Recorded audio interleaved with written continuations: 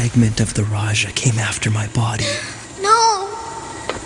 It's all your fault. You were chosen as the Avatar of Time, but you couldn't cut it. Well, what am I supposed to say? Yeah, this has got nothing to do with us. Shut it, you punk! P punk? That's right, punk. Oh, you don't understand anything. Listen up. If that thing blows, the city you live in is gonna be completely destroyed. The city? You only worry about things that affect you. You don't care about anything else. What do you mean?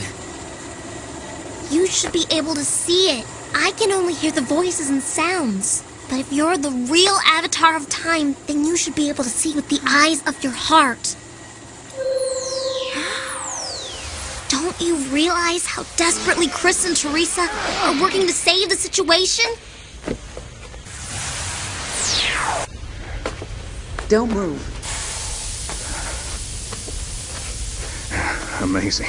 This incredible steam. It reminds me of the steam trains I saw as a child. Ever since the first day I laid eyes on that long black line. Tons of steel charging through the fields, blowing steam against the snow. I knew that I wanted to build a machine like that one day. Ah! A nuclear reactor has too many risk factors.